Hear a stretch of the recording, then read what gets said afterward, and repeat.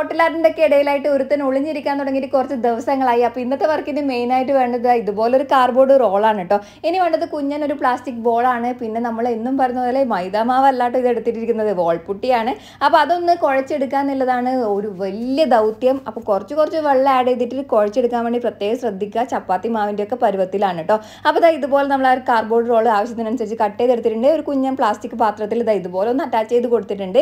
ഇനി വോൾപുട്ടി കുഴച്ചത് ഇതാ ഇതുപോലെ നമ്മളൊന്ന് പരത്തിയെടുത്തതിന് ശേഷം ബോൾ ഒന്ന് കവർ ചെയ്തെടുക്കുന്നുണ്ട് കേട്ടോ അപ്പോൾ നിങ്ങൾ എടുക്കുന്ന ബോൾ കുറച്ച് വലിയതാണെങ്കിൽ ഈ ഒരു സ്റ്റെപ്പ് നിങ്ങൾക്ക് ചെയ്യേണ്ടതില്ല കേട്ടോ അതാ ഇതുപോലെ നമ്മളൊന്ന് അറ്റാച്ച് ചെയ്ത് കൊടുക്കുന്നുണ്ട് വാൾപൊട്ടി പുട്ടി വെച്ച് കംപ്ലീറ്റ് ഒന്ന് കവറും ചെയ്തെടുക്കുന്നുണ്ട്.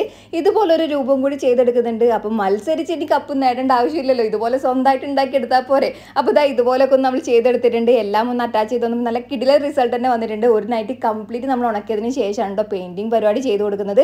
അപ്പോൾ ഫൈനൽ റിസൾട്ട് കണ്ടിട്ട് ഇഷ്ടപ്പെട്ടോ ഇല്ലെന്ന് കമന്റ് ചെയ്യുക വീഡിയോ ഒന്ന് ലൈക്ക് ചെയ്യുക ചാനൽ ഒന്ന് സബ്സ്ക്രൈബ് ചെയ്ത് സപ്പോർട്ട് ചെയ്യാൻ മറക്കല്ലേ?